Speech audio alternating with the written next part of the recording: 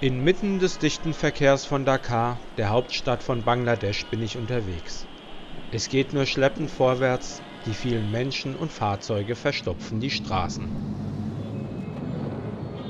Eine Stadt voller Widersprüche. Armut auf den holprigen Straßen, die immer wieder von Wassermassen überflutet und zerstört werden. Viel Schmutz und Gestank prägen das Stadtbild doch gleichzeitig wächst in der Millionenmetropole seit Jahren auch die Wirtschaft. Ein regelrechter Boom durchdringt das Land. Nach China ist Bangladesch der zweitgrößte Textilproduzent der Welt. Knapp 4 Millionen Menschen arbeiten in der Textilbranche, 80 Prozent davon Frauen. Monatlicher Verdienst etwa 50 bis 100 Euro, so muss oft die ganze Familie arbeiten, um den Lebensunterhalt bestreiten zu können. Kritik wird laut, wenn es um Menschenrechte geht. Es gibt viele Verstöße, gerade von Zulieferbetrieben, Kinderarbeit und kaum Sicherheitsstandards zum Leidwesen der Mitarbeiter.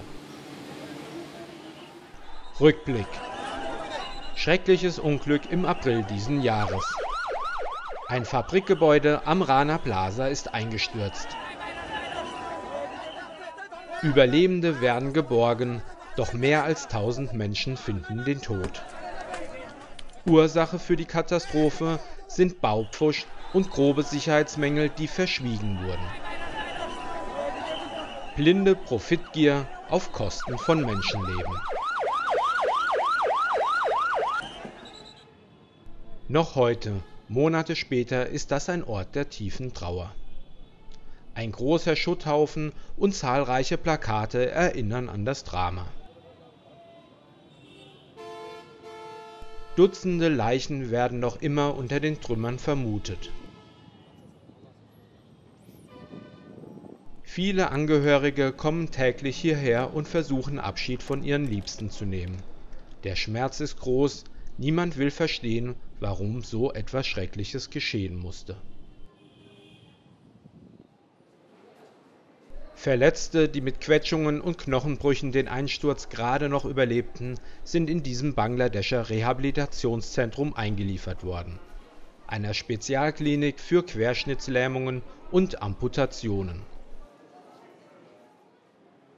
Die hygienischen Bedingungen sind zwar nicht mit unseren in Deutschland zu vergleichen, doch hier wird alles Menschenmögliche getan, um zu helfen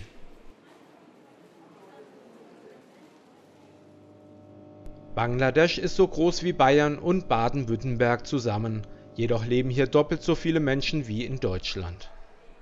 Allein in Dakar sind es 15 Millionen. Die Lebensbedingungen sind äußerst schwierig. Je weiter man in die Elendsviertel von Dakar kommt, wird einem deutlich, was wirkliche Armut bedeutet. In Wellblechhütten leben ganze Familien auf nur 6 Quadratmetern Sie sind darauf angewiesen, dass auch ihre Kinder zusätzlich arbeiten gehen, sonst hätten sie keine Chance, sich ausreichend zu ernähren. In Plastikfabriken wie diesen verbringen Kinder täglich mehrere Stunden. Gesetzliche Regelungen zur Kinderarbeit werden kaum eingehalten. Hilfsorganisationen wie UNICEF helfen, indem sie Schulen in die Slums bringen Bildung ist der einzige Weg, aus dem Elend herauszukommen. Doch die meisten Kinder werden wohl dennoch keine bessere Zukunft haben. So verlasse ich dieses Land mit einem unguten Gefühl. Tausend verschiedene Dinge gehen mir durch den Kopf, wie man den Menschen helfen kann. Es wird noch viel Zeit vergehen, bis sich die Arbeits- und Lebensbedingungen hier im Land verbessern. Auf jeden Fall dürfen die Handelsbeziehungen zwischen Deutschland und Bangladesch nicht versiegen